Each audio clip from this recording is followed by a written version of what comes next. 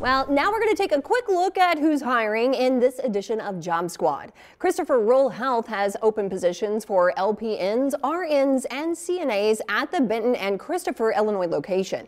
Now, they have open interviews at that Christopher location on Friday, January 16th. So there you go. No, that's not right. The 19th, I would say from 10 to 3, or you can apply online. We'll double check that for you. Common Connections of Marion hiring a location sales manager and Southern Illinois Christian Service Camp. They're looking to fill two positions this summer. That position would help with recreational activities during June and July. You can learn more about these jobs on our website at WSILTV.com.